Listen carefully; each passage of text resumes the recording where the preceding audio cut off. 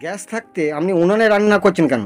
গ্যাসের এই যে দাম যা বাড়ছে পরপর আর আমাদের এই যে মধ্যে মধ্যে মানুষের মানে গ্যাস কেনা খুব অসম্ভব হয়ে যাচ্ছে।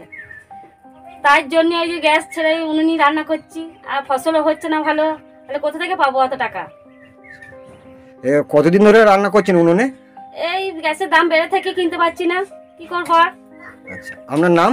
আমার নাম পূর্ণিমা খান গ্যাস থাকতে আপনি উনুনে রান্না করছেন কেন? গ্যাসের প্রচুর দাম বেড়ে গেছে। আমাদের মধ্যবিত্ত পরিবার কোথায় পাবো? সবজি হয়নি আলু চা ধান গম সব নষ্ট হয়ে গেছে।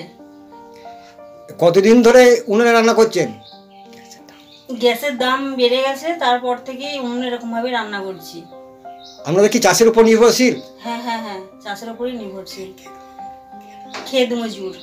আপনার নাম? কোথায় গিয়েছিলেন কোথায়? পাতা কুড়িতে গেছিল কেন গ্যাস নেই ঘড়িতে? না গ্যাসের দাম বেড়েছে তো কি করে রান্না হবে তার জন্য পাতা কুড়িতে গেছি পাতা কুড়িয়ে রান্না করবেন? হ্যাঁ পাতা পাতাতেই রান্না করতে খেতে তো হবে তো আমাদেরকে গরিব মানুষ।